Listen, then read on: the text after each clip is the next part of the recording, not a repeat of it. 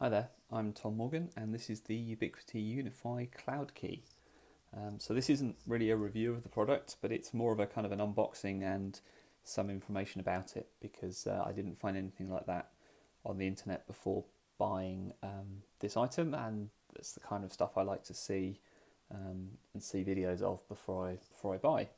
So this is the Cloud Key, so it's designed to go into your UniFi setup and it's basically a mini computer that runs the the management interface. You don't need it.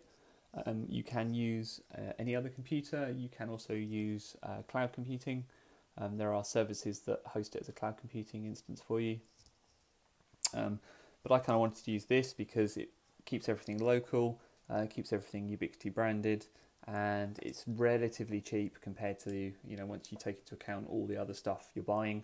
Adding this on um, is not a big not a big added expense. So so this is the, the box itself. There's a picture of the picture of the cloud key, hybrid cloud technology, whatever that means. I guess we'll find out. Um, the Ubiquiti hologram on the bottom, and this is sealed, um, kind of unlike the other ones actually. Um, it's a sealed sealed case, which I'll try and get into. So let's break the seal on there.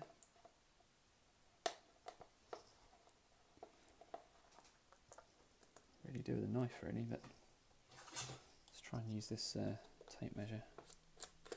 There we go.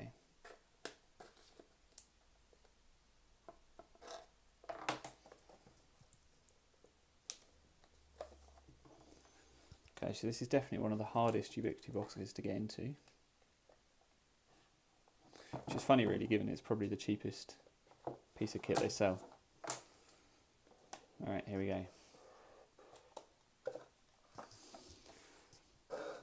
Okay, so there's a quick start guide. So everything Ubiquiti um, I've seen so far comes with one of these quick start guides, which is really good. Um, and then the thing itself is pretty light, it's pretty small, you can see it fits my hand nicely. Um, it's a bit like a, feels a bit kind of in terms of size and weight, a bit like one of those um, battery chargers, maybe a little bit lighter than that.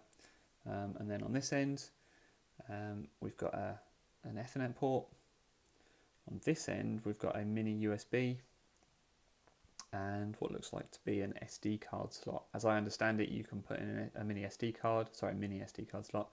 Uh, you can put in a mini SD card and use it for backups. And there's also a reset button there as well. Um, oh, I wasn't expecting this. This is pretty cool.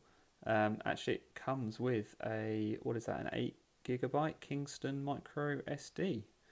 So that's that's really nice. I was kind of thinking I'd have to go and buy one of those. So that's a really nice touch actually. Um, didn't have to do that. And then here we've got, this looks meaty, but I think it's just, I think it's just a regular, maybe power over Ethernet cable. Um, so it's RJ45 on both ends. It's Ubiquiti branded.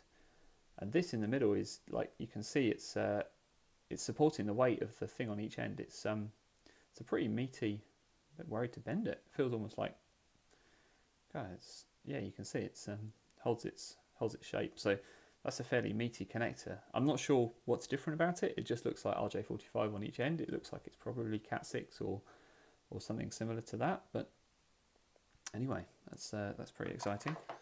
So let's have a look at this quick start guide then as well. Let's see what. Um, so there's some stuff about what's in the what's included.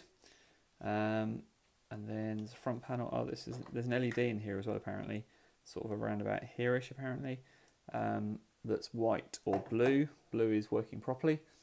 Um, white is either initializing or you know problems and issues.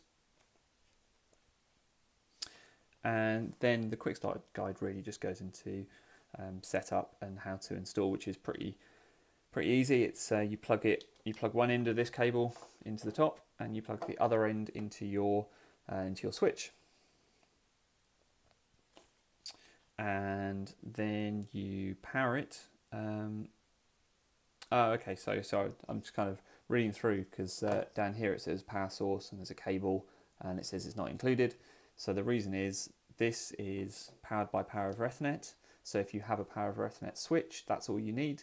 If you're connecting it to um, a switch that is not power over Ethernet, you will need to provide it with power and that's what the, the mini USB is for. There is no USB cable included in the box um, and there is no adapter or anything like that to power this power here. So just a kind of FYI, if you're going into a switch that um, doesn't have power over Ethernet, uh, you will need to do, um, you know, you will need a couple of additional bits and pieces.